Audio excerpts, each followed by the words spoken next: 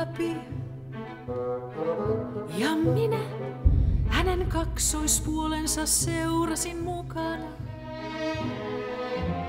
Kellarista hämärälle vintille. Mutta sielläkin kaikissa huoneissa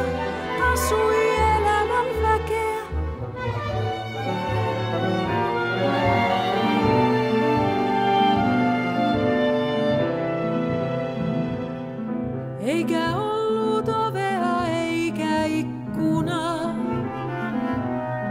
josta olisi voinut livahtaa huomaamatta.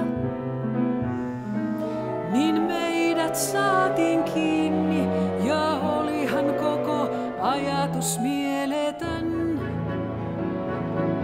Koska ole